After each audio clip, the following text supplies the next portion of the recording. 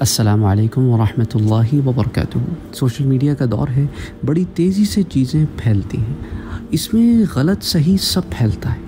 Mobile पर बहुत सारी अहदीस के नाम पर ऐसी ऐसी चीज़ें शेयर की जाती हैं कि जिसको कभी ना सुना है, ना कभी देखा है। क़्यामत की निशानियों में से है ये कि लोग ऐसी ऐसी चीज़ें घड़ घड़ के सुनाएँगे और उसे कहेंगे कि हदीस है और कोई उसकी तहकीक भी नहीं करेगा और आगे फैलाता चला जाएगा। और साथ साथ ये लोग क्या करते हैं?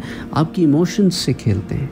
इसी तरह की एक हदीस मुबारक गुलाब के फूल को लेकर है कि गुलाब के फूल में हुजूर अकरम सल्लल्लाहु अलैहि वसल्लम के लहू को शामिल कर दिया गया, कहीं गुलाब के फूल में खुशबू के लिए किसी और शय को शामिल कर, एक अजीब सी बातें हैं जो मैं आपसे ज़िक्र करूँगा कि जिस जिस तरह ये बातें फैलाई जा रही हैं, याद रखो कि हुजूर सल्लल्लाहु अलैहि वसल्लम का फरमान मुबारक है कि जिस शख्स ने मुझ पर झूठ बोला, यानी मेरी तरफ़ गलत बात की नस्बत की तो उसे चाहिए कि अपना ठिकाना जहन्नम में बना ले।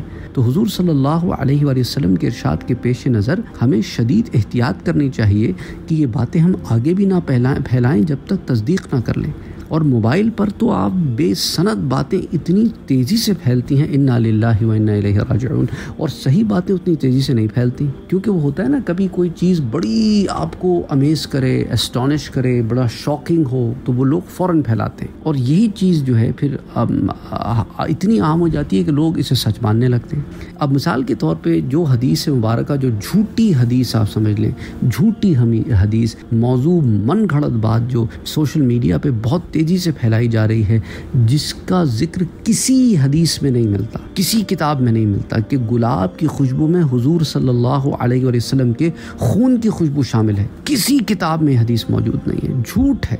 इसी तरह एक और मौजू रिवायत कि सफ़ेद गुलाब मेराज की रात हुजूर फरमाते हैं, मेरे पसीने से बनाया गया। इसी तरह एक और मौजू रिवायत के सुर्ख गुलाब का फूल हज़रत जब्राइल के पसीने से बनाया गया। और इसी तरह जर्द गुलाब का फूल बुर्राक के पसीने से बनाया गया ये तमाम रिवायात जो हैं ये मौजू हैं मन घड़त हैं झूठी हैं।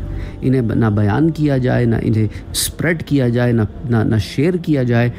क्योंकि हुजूर सल्लल्लाहु अलैहि वसल्लम की तरफ़ झूठी नस्बत से कोई भी बात का फैलाना आप समझ सकते हैं कि उसके लिए कितनी बड़ी वाइद है। इसलिए अगर किसी से इस तरह का कोई मामला बिला बिना तहकीक के अगर आप बातें आगे पहुँचा लें कि आपसे ये मामला पेश आए तो आप तोबा इस्तफ़ार करें और आइंदा एहतियात करें कि बग़ैर चेक किए आप कोई भी बात कुरान, हदीस की आगे नहीं फैलाएँगे।